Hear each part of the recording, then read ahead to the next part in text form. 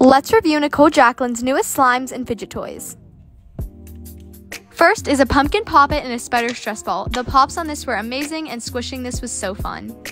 For our first slime, we have Stitch Cake. The little clay add-on was so adorable and mixing it in was so fun. The slime was so buttery and soft, the sprinkles were so cute, and with any extra slime that you have, you can put it in the container that the clay came in. Next is Hello Kitty Bakery slime. The charms in this slime were so adorable and mixing in the little waffle was so fun. Again, a very soft buttery slime, 10 out of 10. Next is Monster Mash slime. The clay add-on is a bat and it was